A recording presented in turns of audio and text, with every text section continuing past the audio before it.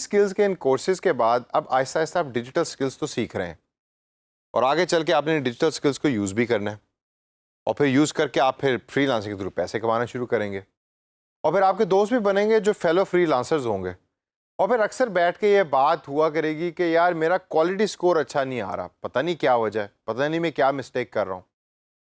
ज़्यादातर फ्री और digital marketeers ये बात करते हैं।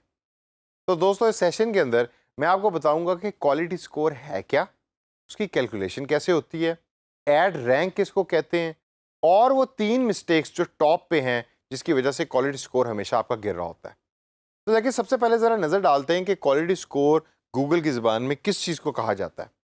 गूगल क्वालिटी स्कोर को कहता है कि rating made by Google to indicate performance and quality of your ads यानी कि ये वो रेटिंग है कि जो गूगल आपकी परफॉर्मेंस को इंडिकेट करने के लिए और क्वालिटी को इंडिकेट करने के लिए यूज़ करता है।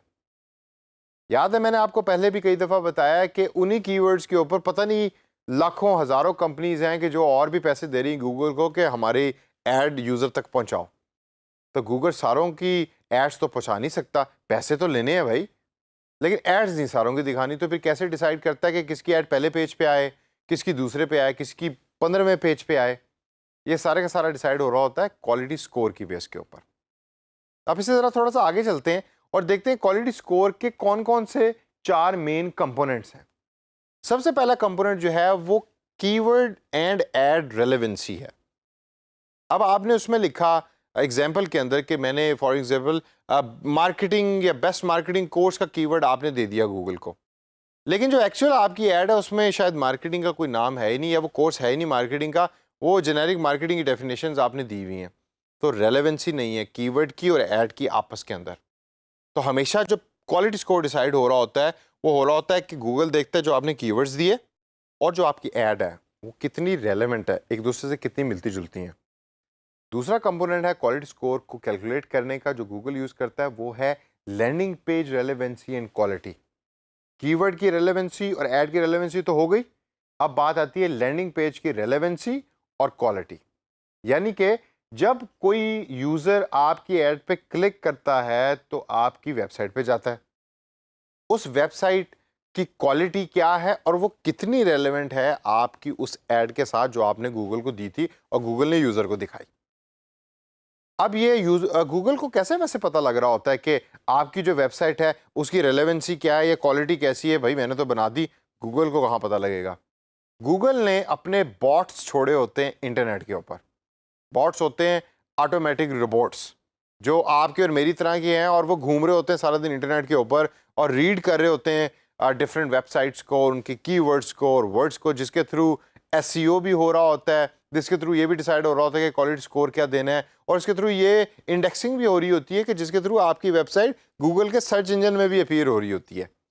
वो सबका सब बॉट्स के थ्रू हो रहा होता है। तो बॉट्स आते हैं आके गूगल को बताते हैं कि भाई हम गए थे इस वेबसाइट के जो एड दी हुई थी उसके ऊपर क्लिक करके उस वेबसाइट के ऊपर और क्वालिटी भी अच्छी नहीं थी और उसकी रेलेवेंसी भी अच्छी नहीं थी। अब क्वालिटी किन चीज़ों पे डिसाइड होती है? जाइए जाके ज़रा गूगल के ऊपर सर्च करें और देखें कि how quality of a website is being judged काफ़ी टेक्निकल टर्म्स भी उसमें आपको मिलेंगी। आ, अगर आप कोई आ, जो आगे चल के हम इस कोर्स के अंदर सीखेंगे भी एक सॉफ्टवेयर जिसका नाम विक्स है प्लेटफॉर्म है, उसको यूज़ करें तो उसमें आपको आसान तरीके से डिफरेंट ऑप्शन क्वालिटी बढ़ाने के लिए मिल जाती हैं। लेकिन अगर आप मैनुअली अपनी वेबसाइट बना रहे हैं बहुत अच्छी बात है तो आपको अपनी क्वालिटी बढ़ाने के लिए जिन फैक्टर्स की ज़रूरत होती है, उसको सर्च कीजिए और उन फैक्टर्स को जहन में रखें।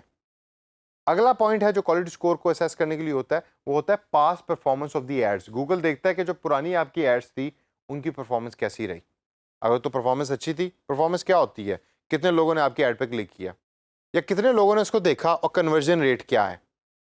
हज़ार लोगों ने देखा, उनमें से कितने लोगों ने आपकी एड को क्लिक किया? ये होती है परफॉर्मेंस ऑफ़ दी एड तो पिछली परफॉर्मेंस क्या थी? उसकी बेस पे भी क्वालिटी स्कोर जो है वो आपका डिसाइड हो रहा होता है। और लास्ट के अंदर क्लिक थ्रू रेट अगेन जो मैंने अभी बात की performance is based on the clicking and click through rate is basically the rate के कितने लोग आपकी एड पे क्लिक कर रहे हैं, आपकी एड को देखने के बाद। तो इन चार चीज़ों के ऊपर क्वालिटी स्कोर जो है वो आपका डिपेंड कर रहा होता है और गूगल उसको कैलकुलेट कर रहा होता है। लेकिन क्वालिटी स्कोर इतना इंपॉर्टेंट है क्यों? एक तो होगा कि जी, इसको यूज़ करके गूगल आपकी ऐड दिखाता है जेनेरिक सी चीज़। नहीं, इसके अलावा एक और भी बड़ी इंपॉर्टेंट बात है। एड रैंक का लफ्ज़ आप अक्सर सुनेंगे। ये वो रैंकिंग है कि जो गूगल यूज़ करता है आपकी ऐड दिखाने के लिए। अगर आप गूगल पर टाइप करें बेस्ट होटल्स इन लाहौर तो आप देखेंगे कि टॉप के ऊपर आपको कुछ एडवर्टाइजमेंट नज़र आ रही है नीचे तो वेबसाइट्स हैं लेकिन टॉप पे कुछ एडवर्टाइजमेंट्स हैं। उनमें से कोई पहली है कोई दूसरी है कोई तीसरी है कोई चौथी है और कुछ है ही नहीं वहाँ। कुछ शायद दूसरे पेज पे अपीयर हो रही होंगी। ये सारे का सारा एड रैंक के थ्रू हो रहा होता है। क्वालिटी स्कोर बना। क्वालिटी स्कोर के ऊपर गूगल ने डिसाइड किया कि मुझे पहली नंबर के ऊपर ये वाली ऐड दिखानी है दूसरे पे ये दिखानी है तीसरे पे ये दिखानी है। क्यों भाई? आ, मैं भी तो पैसे दे रहा हूँ उसी कंपनी की तरह जिस तरह वो दूसरी कंपनी पैसे दे रही है। और हो सकता है मैंने शायद ज़्यादा पैसे दिए हैं उस कंपनी के मुकाबले में। लेकिन उनकी ऐड तुम दिखा रहे हो, मेरी नहीं दिखा रहे, ये क्या अनफेयर नहीं है, ये क्या खुला तजाद नहीं है? उसकी वजह यह है कि क्वालिटी स्कोर ने गूगल को बताया कि इनकी ऐड पे जब क्लिक करो तो इनकी वेबसाइट के ऊपर जाएँ तो वहाँ होटल की इन्फॉर्मेशन कुछ क्लियर या क्लैरिटी से नज़र नहीं आ रही, जो क्वालिटी भी आपकी वेबसाइट की गिरा रही है और जो रेलेवेंट भी नहीं है आपकी ऐड के साथ। इसकी वजह से इनकी ऐड बेशक ज़्यादा पैसे दे रहे हैं इनकी ऐड दिखाने के बजाय उस कंपनी की ऐड दिखाओ कि जिसकी रेलेवेंसी वेबसाइट की और लैंडिंग पेज की ज़्यादा है और क्वालिटी कंटेंट भी उसके ऊपर अवेलेबल है। नंबर टू एड रैंक की वजह से आप पैसे भी ज़्यादा पे कर रहे होते हैं, ये भी जहन में रखें। आप पैसे ज़्यादा पे कर रहे होते हैं, लेकिन रिज़ल्ट आपको अच्छा नहीं मिल रहा होता, क्योंकि आपका रैंक अच्छा नहीं है। तो दोबारा घूम घुमा के बाद आगे क्वालिटी स्कोर के ऊपर। तो फिर दोस्तों क्वालिटी स्कोर क्यों इतना इंपॉर्टेंट है? आपको समझ लगी नंबर वन ये आपके एड रैंक को बढ़ाने के लिए सबसे ज़्यादा रोल प्ले करता है। आपका एड रैंक अच्छा होगा तो नंबर टू पॉइंट आपके पैसे बचेंगे। You will save a lot of money because your ad rank is good कम कीमत में आपकी एड ज़्यादा लोगों तक पहुँची और ज़्यादा लोग उस पर क्लिक कर और तीसरी चीज़ better ad position. If your ad rank is good your position of the ads are also very good अब आगे चल के मैं आपको बताऊँगा वो तीन कॉमन मिस्टेक्स कि जो ज़्यादातर लोग यूज़ करते हैं और क्वालिटी स्कोर अपना ख़राब कर लेते हैं और पैसे खर्च खर्च कर, करके अपने बजट को सारे को रन आउट कर देते हैं। सबसे पहली जो मिस्टेक जो बड़ी कॉमन है, वो है बैड कीवर्ड्स मैच टाइप जब आप गूगल को कीवर्ड्स दे रहे होते हैं तो वो अल्फाजों की शक्ल में देते हैं आप और अल्फाजों के अंदर जुमले भी होते हैं फ्रेजेस भी होते हैं।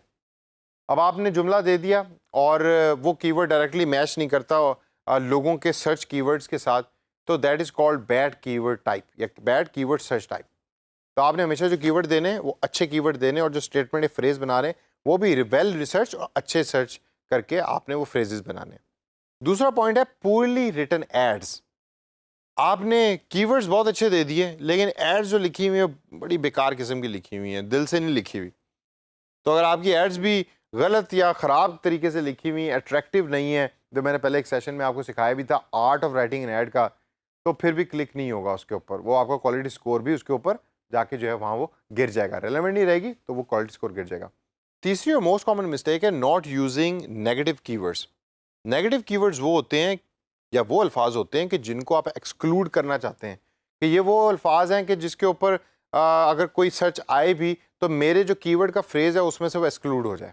फॉर एग्जांपल आप एक टाइपिंग क्लास की ऐड बना रहे हैं, आप टाइपिंग सिखाते हैं लोगों को। तो आपने गूगल को कीवर्ड दिया कि जब भी कोई टाइपिंग क्लास लिखे तो मेरी एडवर्टाइजमेंट यार भाई, उसको दिखा देना। अब उसमें जब किसी यूज़र ने फ्री टाइपिंग क्लास लिख के सर्च किया तो फिर भी आपकी ऐड जा रही है। लेकिन आपकी ऐड पे वो क्लिक नहीं कर रहा, क्योंकि आपकी ऐड कहती है टाइपिंग क्लास बट फ्री का लफ्ज़ वहाँ नहीं है। तो उसकी वजह से क्लिक थ्रू रेट आपकी ऐड का ख़राब होगा क्लिक थ्रू ख़राब होगा रेलेवेंसी ख़राब होगी रेलेवेंसी ख़राब होगी तो क्वालिटी स्कोर ख़राब होगा। तो इसका हल क्या है? इसका हल ये है कि जब आपने टाइपिंग क्लास का कीवर्ड गूगल को बताया तो नेगेटिव के अंदर फ्री भी बताएँ कि जब भी कोई फ्री टाइपिंग क्लास लिखे तो फ्री को एक्सक्लूड कर दो। और अगर वो फ्री टाइपिंग क्लास लिख रहा है तो हमारी एड उसको दिखाने की ज़रूरत नहीं है। इस तरीके से आपका क्वालिटी स्कोर भी हर्ट नहीं हो रहा। और आप अपनी एड सिर्फ़ उन लोगों तक पहुँचा रहे हैं कि जो एक्चुअली टाइपिंग क्लास हो सकता है पेड तरीके से देखना चाहते हो, जो आपके इवेंचुअली क्लिक थ्रू रेट को भी बेहतर बनाएगा। तो दोस्तों, इस सेशन को जहन में रखें और ये जो तमाम मैंने आपको टिप्स और ट्रिक्स बताई हैं और मिस्टेक्स बताई हैं, इसको आपने रिपीट नहीं करना। कभी भी जब भी आप ऐड बना रहे हैं, इनको जहन में रख कर अपनी ऐड बनाएँ। क्वालिटी स्कोर को हमेशा जहन में रखें फोकस करें और क्वालिटी स्कोर हमेशा आपकी ऐड का अच्छा होना चाहिए, तभी आप पैसे भी बचाएँगे और एक अच्छे डिजिटल मार्केटियर भी बन सकेंगे।